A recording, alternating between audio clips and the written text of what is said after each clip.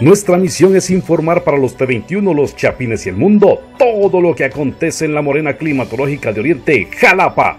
Antes de ver este video, no te olvides de suscribirte a nuestro canal y así mantenerte informado. Portaba el arma de fuego de manera ilegal y en horas del toque de queda. Agentes de la Policía Nacional Civil dándole cumplimiento al decreto 06-2020 en el que se refiere el toque de queda emanado por la Presidencia de la República. En la aldea Los Isotes, en Santa María, Chalapán, Jalapa, realizan la detención del señor Manuel Jiménez Nájera, de 27 años.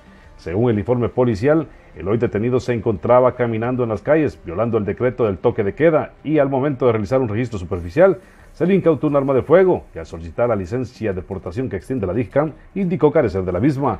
Luego que los agentes policiales realizaron la detención del antes mencionado, este fue puesto a disposición de los tribunales correspondientes para que pueda solventar su situación jurídica. Para los T21, los Chapines y el mundo, notijalapa.net.